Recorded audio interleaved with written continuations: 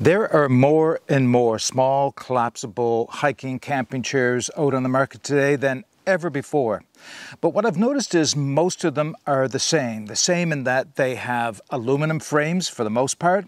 Uh, they usually have some type of a shock cord that helps bring them together and hold their shape. Usually the seat made of mesh nylon or ripstop nylon with mesh nylon in combination is separate that you put on after you've assembled the frame. Uh, they're functional, they work. You can pay a lot of money for them and get some very, very ultralight ones. You can save a few dollars, but you're going to get more in weight for them. By and large, though, they are all very similar. So when the company TCEK, I don't know if there's a pronunciation for that, offered to send me a camping chair, I looked at what they had and I said, it's at least different. And that makes it worth showing to you. So this is the folding, portable, swivel camp chair from TCEK. If you're interested in hearing my thoughts on it, Keep watching. All right, just before we get started, I want to thank the company TCEK for sending out the swivel portable folding camp chair so that I could share it with you. So the easiest thing for me to do is to collapse it, put it back into its bag so that I can show you the assembly of it. And that is definitely one of the key features, a real pro for this chair, is how easy it is assembled. Once I get it assembled, I'll go through the specifications for it and I'll share my experiences with it. All right, here is the chair put back in its stuff sack. A uh, few things before we get going. By the way, there is the symbol. I'm trying to make sure it's not in shadow. TCEK, that's their logo above it.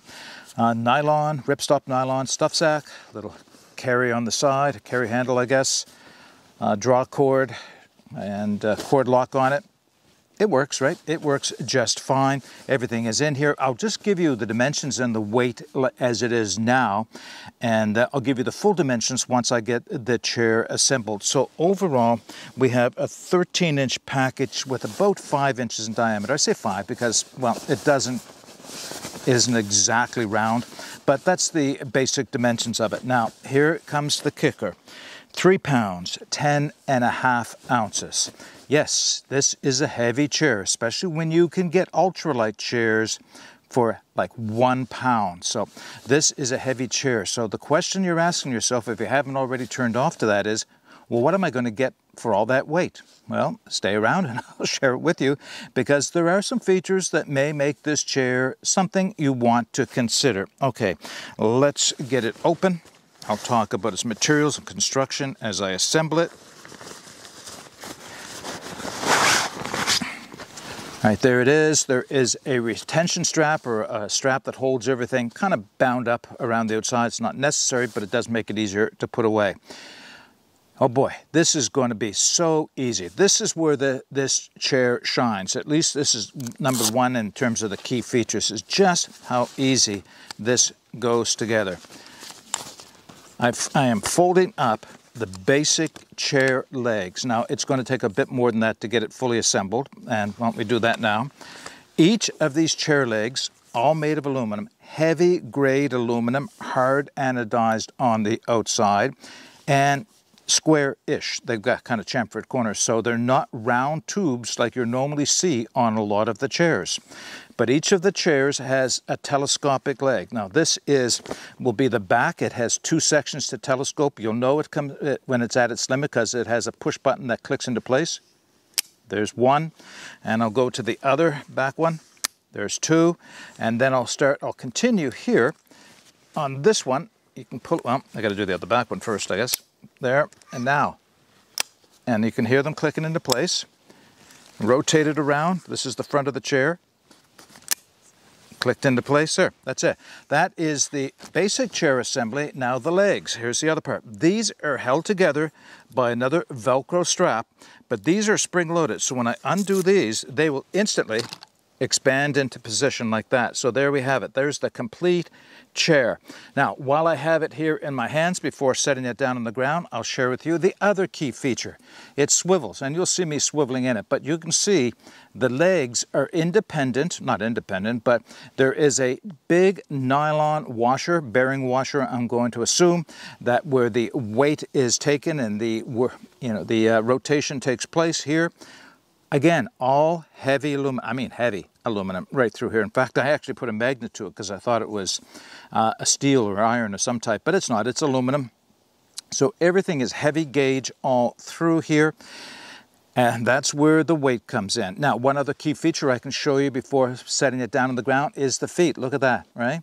No worries about these sinking into the ground. I have not had any issue. Now, I didn't try it on beach sand, but I am out in the woods. The, the loam is loose, loose here, so uh, it's not sinking here. So I, I, this is pretty much where I want these things to work, and they do. All right, there's the basic chair. I'm going to reposition the camera and I'll give you some details and some specifications for it as it is assembled. All right, here is the chair fully assembled. I'm going to give you some specifications for the chair as I go over it and describe its construction. But of course, I'll give you all those numbers in the video description below. So let's just get those out of the way. The height at the back is 26.8 inches. From front to back, it measures 22.8 inches. And from side to side, it measures 20.8 inches. So as you can see, it's got a heavy nylon screening in the seat area. That's where the majority of your ventilation is. And I'll say it is heavier than the other chairs that I have tested. Uh, yeah, it is, just is. And back here is a ripstop nylon, which again is heavier than the other chairs I have tested. All the way around the outside, it is bound with a ribbon or webbing of some type to give it some support. And as are the panels where they meet in the center. So overall, you get an impression of heavy duty. And that certainly matches with the frame, as I described earlier, earlier heavy duty, and that's the thing.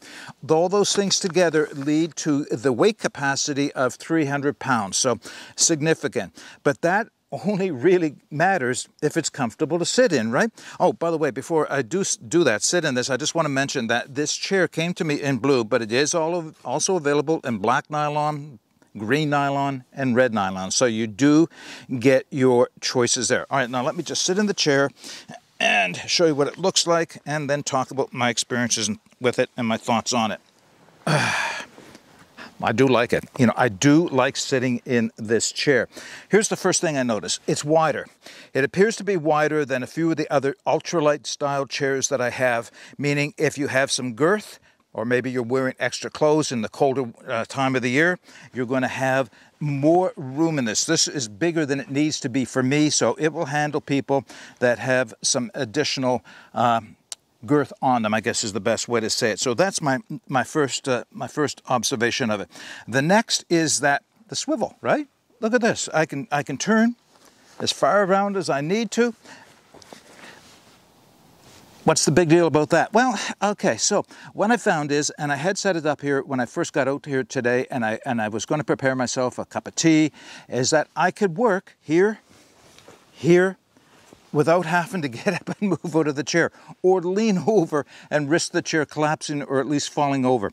So yeah, that's one of the things I do like about this chair.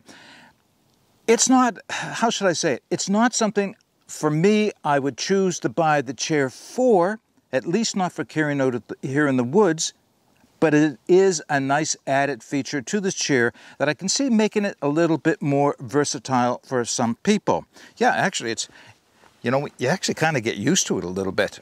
It's, it's not bad. It allows you to, you know, move around comfortably or just fidget a little bit without having to worry about damaging the chair. Okay, so I've only had it two months. I've used it a dozen times maybe.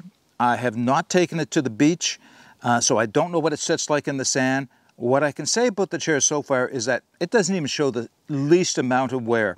I guess my, my reason for saying that is I can't tell you what it's going to be like a year from now, two years from now, but at least in that short period of time I've had it, it hasn't shown anywhere where I was concerned about it, honestly, was at the pivot point where that heavy nylon, it's like a two inch round disc, half inch in deep nylon washer, and that's what is bearing the weight on it. I think that's probably going to last a good long time. Okay, um, there's not a lot more to say about this chair. Uh, it's comfortable, and that's the, what you can ask of a chair, right? All right, let's wrap this video up with a few more comments on it. Okay, a few closing comments on the swivel portable chair from the company T-Sec, T-C-E-K. That's my best pronunciation is T-Sec. Uh, it's heavy, all right? That's, that's a con for this chair it is heavy. It is not a backpacking chair. At least it's not something I'm going to carry out into the woods or I'm not going to carry very far. I guess that's another way of looking at it. It's not, it's makes it a great car camping chair, especially if you don't have a lot of space and uh, you don't want to carry a larger chair. I'd throw this in the trunk of the car and take it to, if my kids were still young enough that I was watching their soccer games and the like, then, then this may be the chair I would take with me. So I think it, it's a good chair for that purpose. Uh, if I was car camping and I was just taking it to the beach or using it around my campsite, I wouldn't mind the weight, and it, the comfort is definitely there in this chair. I, I'm sitting in it now, of course. Uh, it's not a high back chair, but it does take me to oh, about an inch, maybe two inches just below the shoulders. Maybe it'll show better if I do it like that. How about there? You can probably see just how high up it is. So it's it's not bad in terms of its height when you let yourself slide down into it into a comfortable position. It's it's not a high back as I mentioned, not a reclining chair, but it does pretty good. So the Another thing that I like about it are the feet. They're wide, they're stable, they're not sinking into the loam here into the woods, the, the duff here. They're, they're very stable that way. Uh, yeah, the swivel feature is kind of cool, and I do like that. One thing I've noticed about it though, with that swivel feature, and it's not a deal breaker, it's just something you need to be aware of. If you swivel around and then lean over to reach something, like any four legged chair, it has a tendency to want to tip in that direction. So just bear that in mind. I mean, you, you could do that with the regular chairs as well. I think that's probably the reason why office chairs have five wheels, five legs coming over to them, because you get that extra stability. I don't know if it's worth redesigning this chair to put a fifth leg on it. It would be interesting to see what if they were able to do that, but maintain the weight or even lighten the weight some. Yeah, uh, the fact that it goes together so easily, no assembly required. Basically, it's just let it spring into position and pull uh, the the telescopic uh, top pieces of the chair up, and you're good to go. So there are some pros, but there are some cons. Weight being the single biggest con for this chair. But if weight is not an issue for you, you may find that the pros make this chair worth looking at. So what I will do, of course, is I'll be putting the information where you can take another look at this in the video description below, as well as all the technical specifications for it. If you have any comments or questions, put them in the comment section below, and I'll do my best to answer them. But in the meantime, get out and explore and take that path less traveled, because it will make all the difference. Bye for now.